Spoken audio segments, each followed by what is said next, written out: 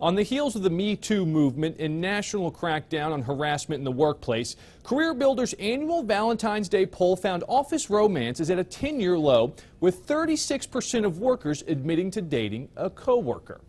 Last year, the same survey reported that 41% of coworkers had dated. CareerBuilder's Rosemary Haefner said in the press release, quote, Office romance is experiencing a dip, and whether it's impacted by the current environment around sexual harassment or by workers not wanting to admit the truth, the fact remains that office romance has been around forever and will continue to be.